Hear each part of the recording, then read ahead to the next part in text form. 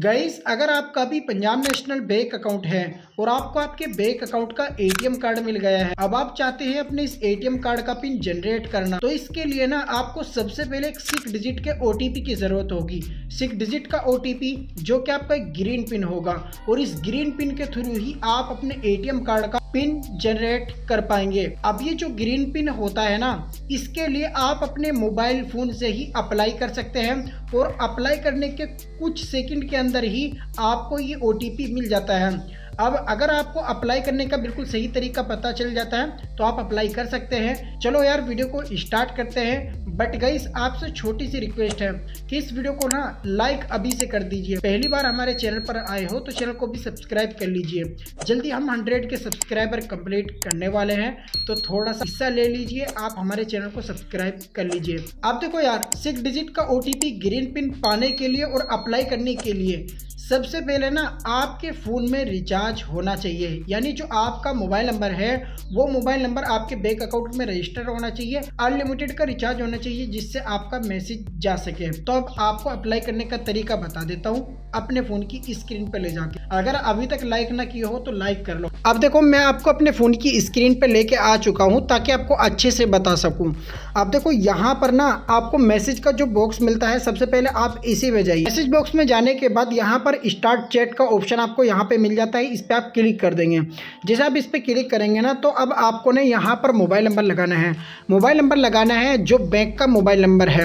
यानी इस mobile number से ही आपको ग्रीन पिन ओ के लिए अप्लाई करना है इसी मोबाइल नंबर पर मैसेज भेज के किस तरीके से यहाँ पर नंबर आप लगाएंगे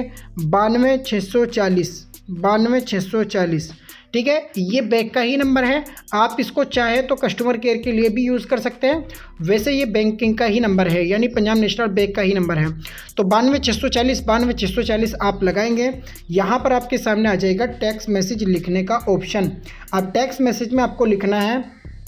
यहाँ पर D C P I N बड़े कैपिटल लेटर में आप लिखेंगे D C P I N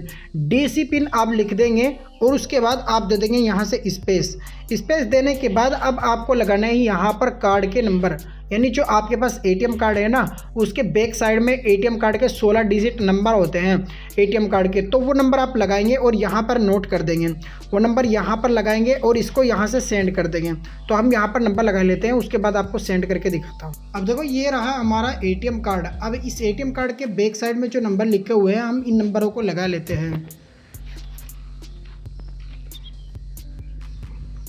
Just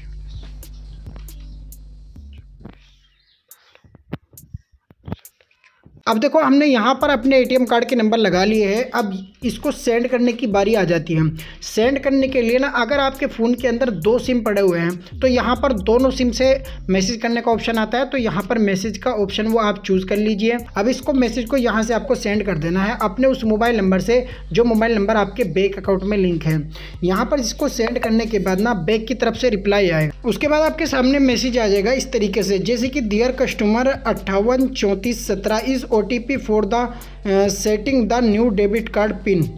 ठीक है इस तरीके से लिखा रहेगा और इसमें यहाँ पर इसकी डिटेल्स भी लिखी हुई होगी जैसे कि मैं यहाँ पे आपको थोड़ा सा दिखा देता हूँ यहाँ पर इसमें लिखा लिखा रहेगा दिस इज़ वैलिड फॉर बहत्तर आवर्स यानी ये जो ओ है ना जो आपको मिला है ग्रीन पिन ये आपका बहत्तर घंटे तक ही वैलिड होगा बहत्तर घंटे के बाद ये एक्सपायर हो जाएगा बहत्तर घंटे के बाद आपको नए तरीके से अप्लाई करना पड़ेगा यानी इसी तरीके से आपको अप्लाई करना पड़ेगा फिर अगर आपको दोबारा से ओ मिल जाता है उसके बाद फिर आप जनरेट कर पाएंगे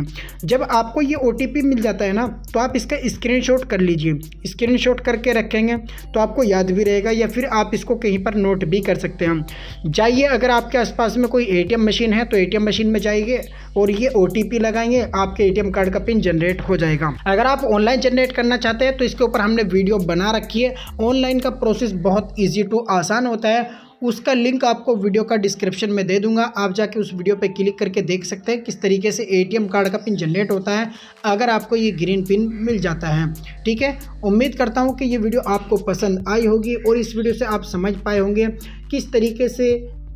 बी बैंक के न्यू एम कार्ड का पिन जनरेट करने के लिए सिक्स डिजिट का ओ पी कैसे प्राप्त होता है किस तरीके से उम्मीद करता हूँ ये वीडियो आपको पसंद आई होगी वीडियो पसंद आई हो तो वीडियो को लाइक करना चैनल पर नए हो तो सब्सक्राइब कर देना चलो मिलते हैं किसी और नेक्स्ट वीडियो के साथ तब तक के लिए दीजिए इजाज़त जय हिंद जय भारत